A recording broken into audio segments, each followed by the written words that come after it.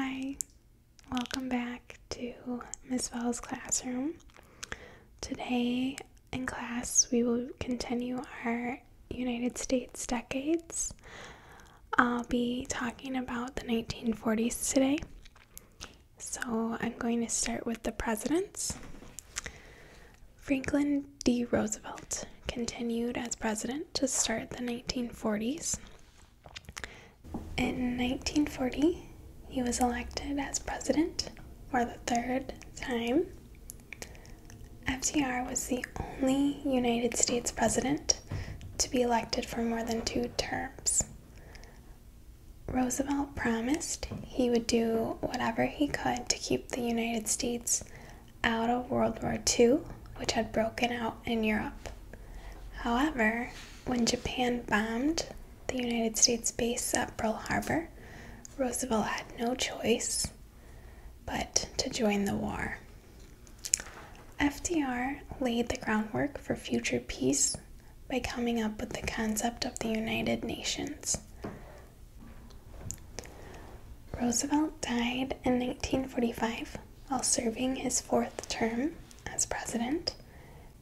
Harry S. Truman became president when FDR died a few months after Truman became president, the Germans surrendered in World War II. The Japanese still would not surrender. Truman had to make a decision either invade Japan with soldiers or use the newly created atomic bomb. Truman decided to use the atomic bomb. The US dropped an atomic bomb on Hiroshima on August 6th, 1945. A few days later, they dropped another atomic bomb on Nagasaki. The Japanese surrendered shortly after. After World War II was over, Truman came up with the Marshall Plan, which was to restore Europe, which was largely destroyed by war. A few fun facts about Truman are the S in his name doesn't actually stand for anything. And his motto was the buck stops here. And here is a very famous picture of Truman um, after the 1948 election, in which the Chicago Tribune got the election results wrong. So it says Dewey defeats Truman. And then here is Truman holding that up.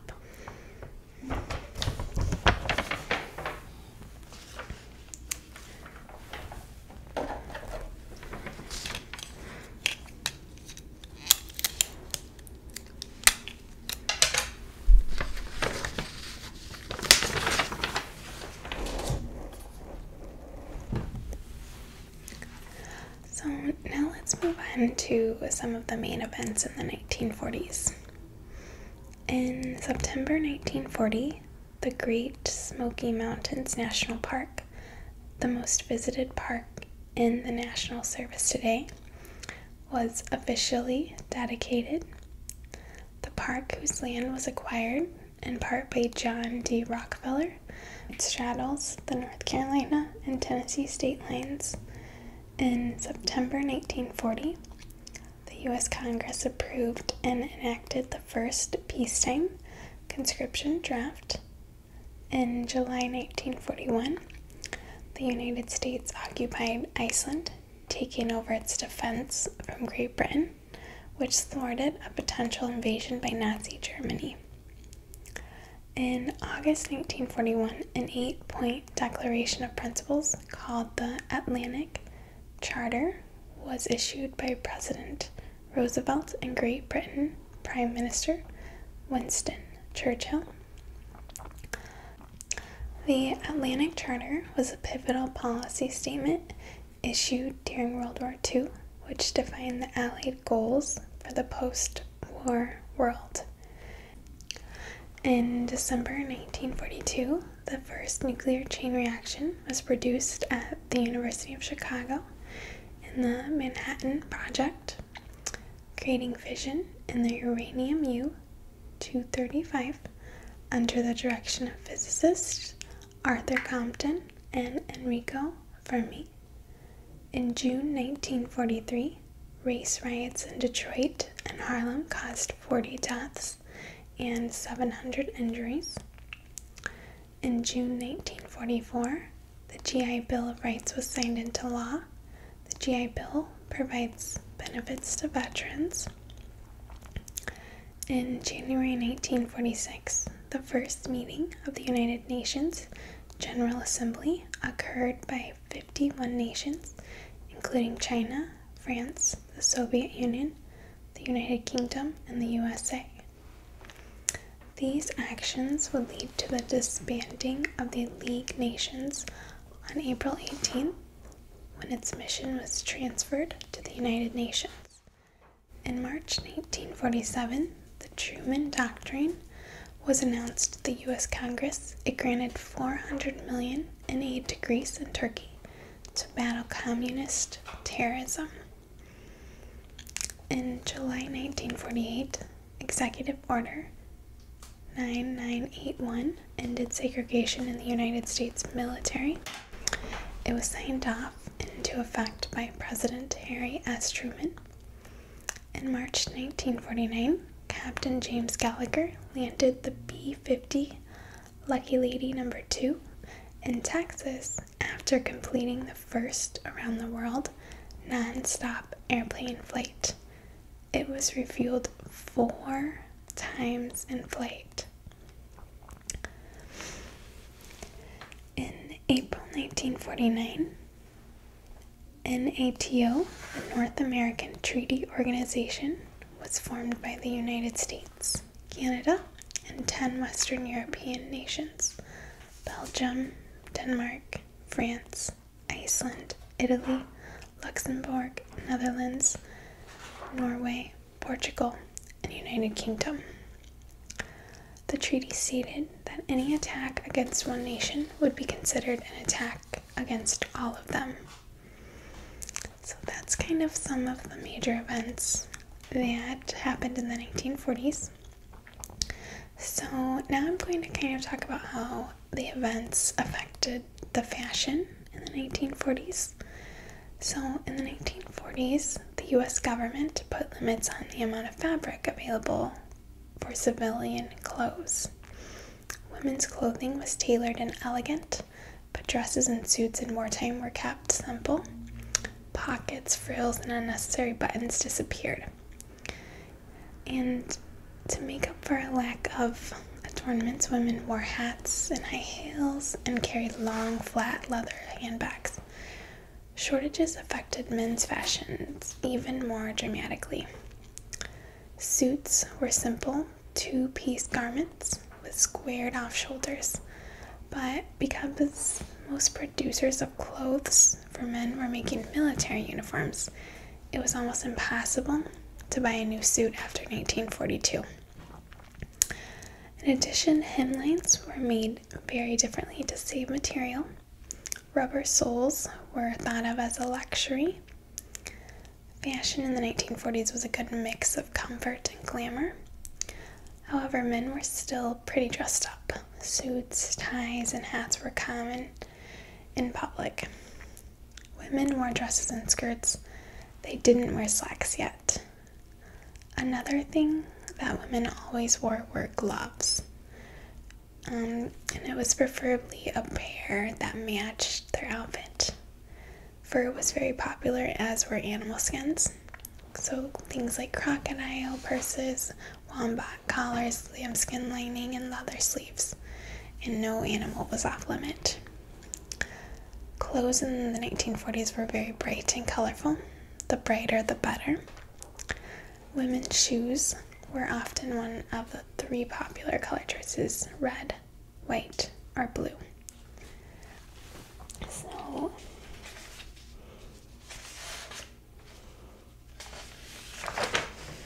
here are some of the pictures. As you can see that they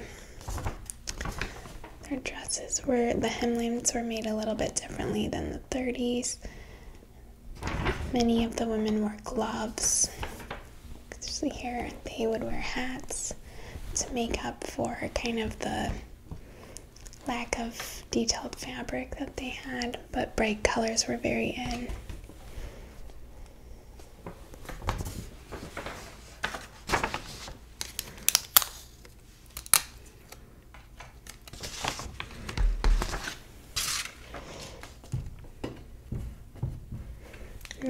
Women still wore dresses, but here is a picture of slacks, but I don't think that that was very common in the 1940s. And then here are the men's suits. As you can see that they still wore suits often, but the suits were not made as often after the war. Couldn't purchase them, but it was still very common for men to wear suits.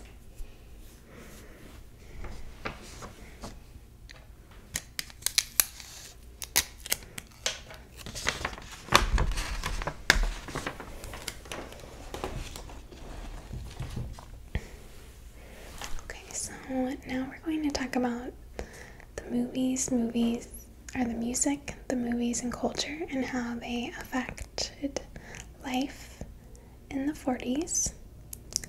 So, after 1941, American life began to change in many important ways. Rural dwellers moved to the cities to work in factories. They included millions of women, ethnic minorities, and teenagers. These groups had never worked together before, so there was often tension between them. Wartime jobs paid well, so many Americans found themselves better off than ever before. Yet, wartime shortages meant that Americans at home had very little on which to spend their money. Many women stayed in the workforce when the war ended, but the emphasis was on home, family, and traditional values. 400,000 mine workers began to strike with other industries following their lead. So, music, talking about that, um, Tutti Frutti, song by Little Richard, kind of helped people get their minds off of the war. And um, We Will Meet Again by Vera Lynn was about women who had husbands or partners who were in the war. Swing and jazz were very popular. Jitterbug, the Charleston, and the Lindy Hop were very popular dances. As for the movies, Sherlock Holmes and the Secret Weapon was related to being a Nazi spy, which related the war the world was in. Okay, so now we're going to talk about sports, just a little bit of information about that. So, in September 1941, Ted Williams ended the 1941 season with a batting average over 400.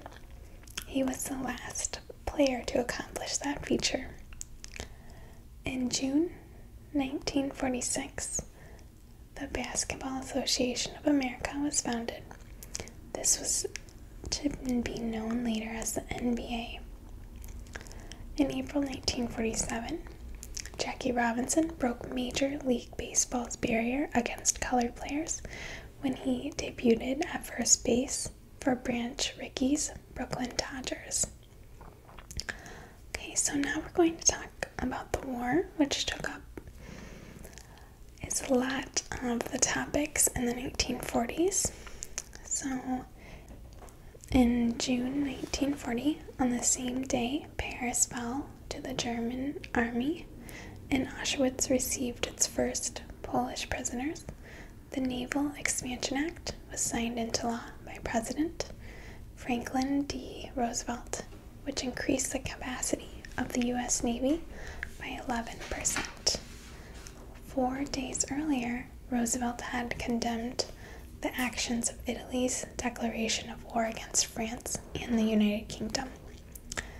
In December 1941, the attack on Pearl Harbor, Hawaii, started at 7:55 a.m. when Japanese fighter planes launched a surprise attack on the United States soil.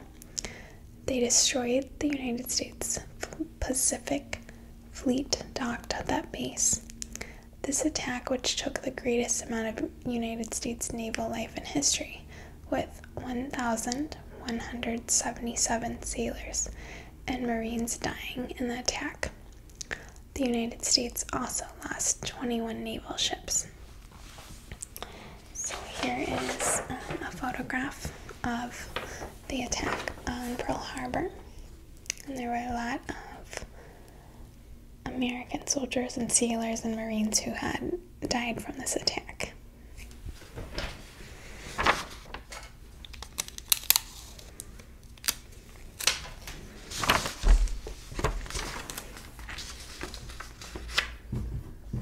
So, this attack led to the entry of American troops into World War II.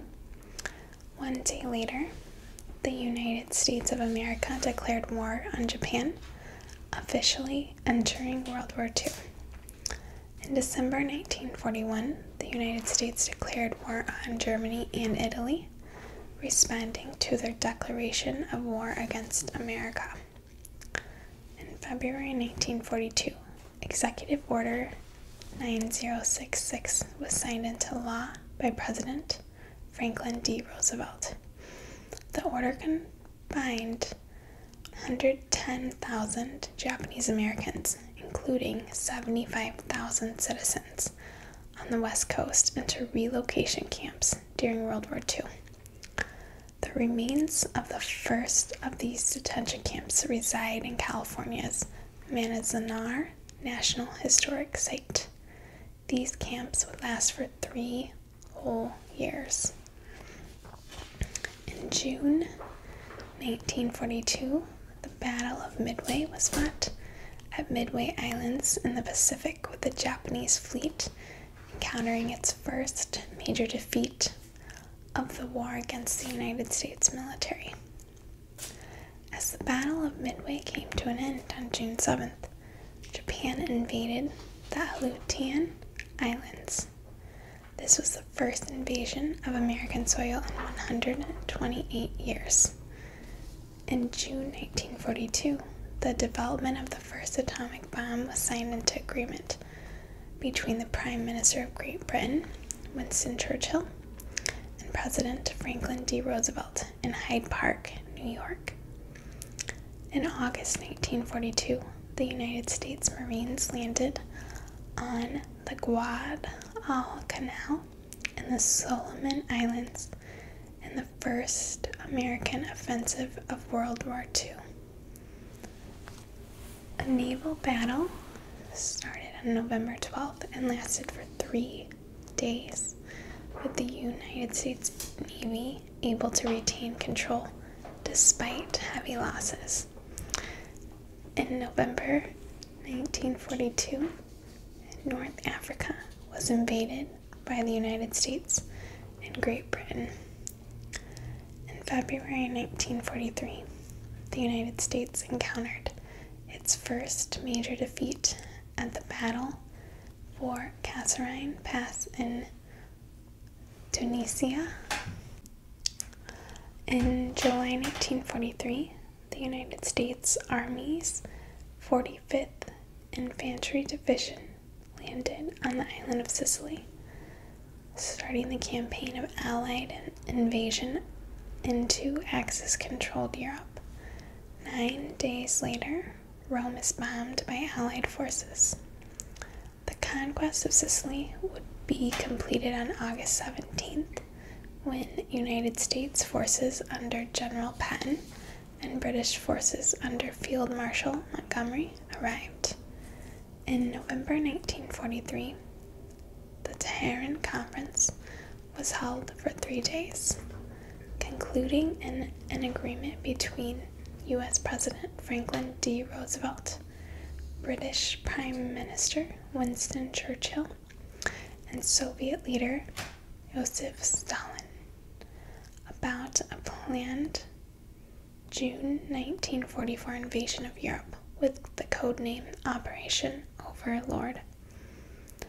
In June 1944, the Normandy invasion, D Day, occurred when 155,000 Allied troops, including American forces and those of 11 other Allied nations landed in France. Allied soldiers stormed the beaches of France to begin the World War II invasion of Europe that would lead to the liberation of Paris.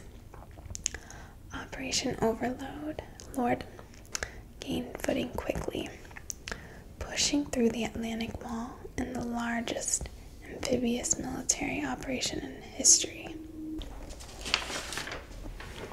So here is a photograph of all of the Allied forces approaching the beach at Normandy. You can see all of them coming in in their different ways.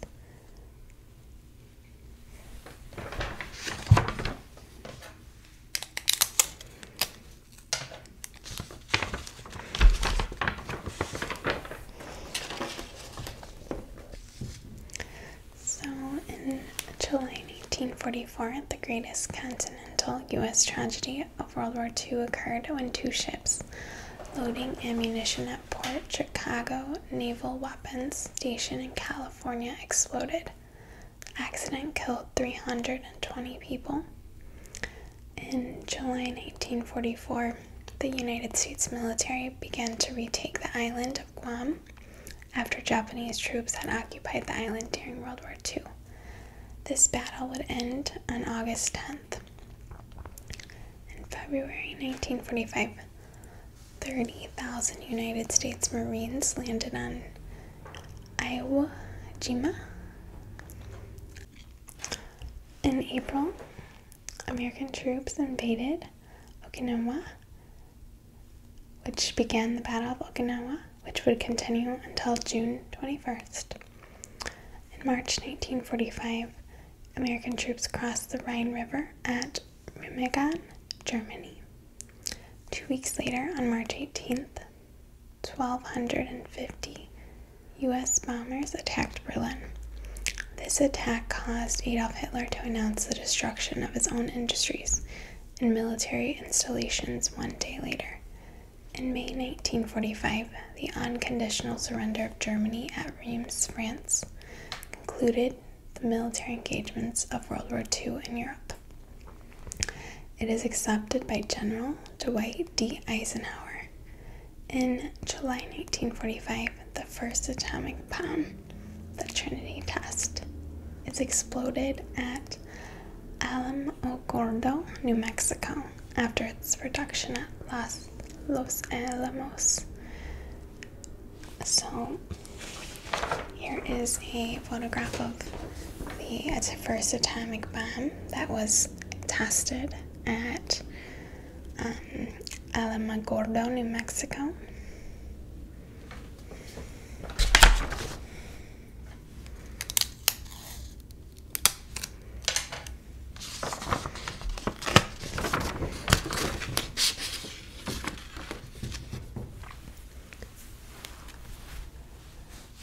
In August 1945, President Harry S. Truman gave the go ahead for the use of the atomic bomb with the bombing of Hiroshima.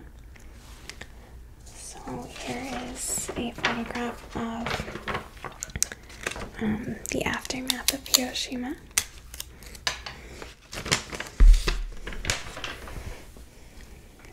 You can see it really destroyed a lot buildings and it killed a lot of people.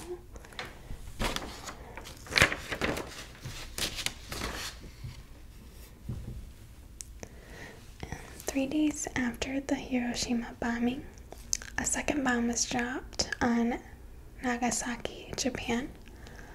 On August 15th, Emperor Hirohito of Japan surrenders. The war shortly ended after that. Okay, so regarding immigration, the 1940 census indicates a United States population of 132 million. This represented an increase of 7.3% since 1930, the lowest rate of increase in the 20th century. So, some of um, the inventions that came in the 1940s are penicillin, rubber tires, Slinky, and Silly Putty. And it's one of the pictures of the Slinky.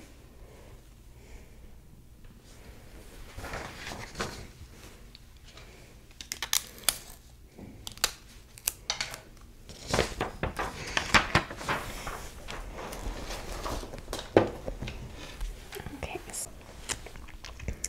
so instead of a we're going to do trivia. So we didn't talk about these things, but try your best. Whose famous quote is this? The only thing we have to fear is fear itself. Yes. It's not Dwight Eisenhower. You're close. Yes. Yes, it is Franklin D. Roosevelt. What was the minimum wage in the United States in the 1940s? Give you a clue, it was less than a dollar. Less than 50 cents. Yes. It's not 40 cents, it's more than 40 cents. Yes, 43 cents per hour was the minimum wage. What percentage of households had indoor plumbing in the 1940s? Yes.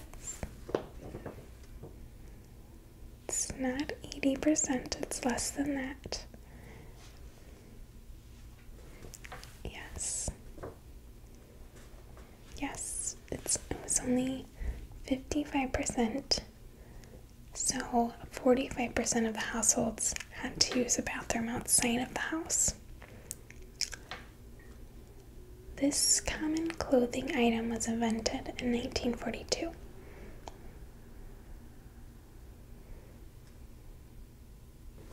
Mhm. It's not slacks. It's a good guess though. It is the t shirt. What Marvel Comics superhero was introduced in 1941?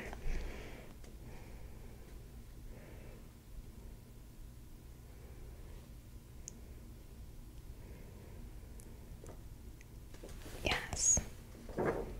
Yes, it is Captain America. What dog breed was the most popular during this decade?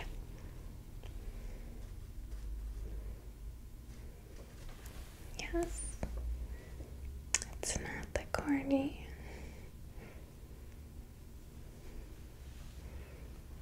It's the Cocker Spaniel.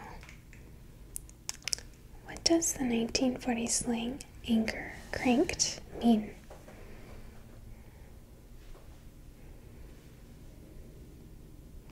Okay, it means a sailor.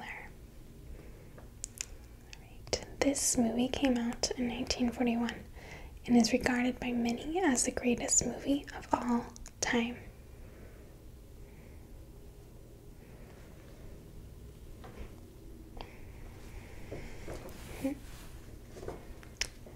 No, that's not correct. It's not that either. It is Citizen Kane.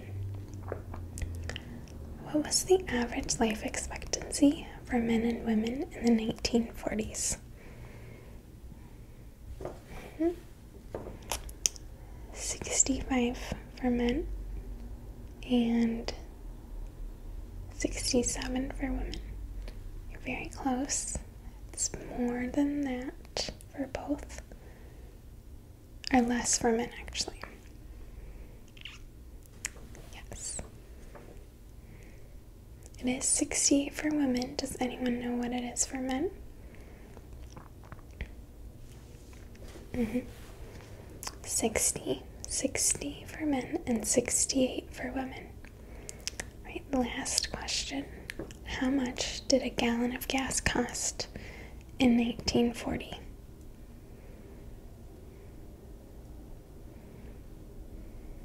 Mhm.